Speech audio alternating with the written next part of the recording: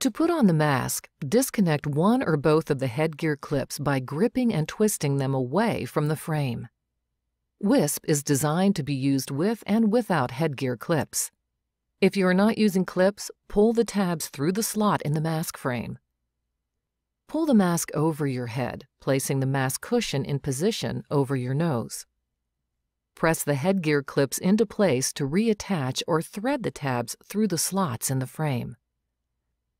If needed, you can make adjustments while sitting up. Adjust the bottom straps evenly. The mask should rest lightly on your nose. Connect the side strap tab and adjust the side straps only if necessary. Check the headgear to make sure that the straps are parallel and flat across the back of the head. Connect the wisp tubing and elbow swivel to the front of the mask. Now connect it to the flexible tubing that came with your device. WISP also allows you to position the tube over your head. Simply slide the WISP tubing through the headgear crown loop before attaching the flexible tubing.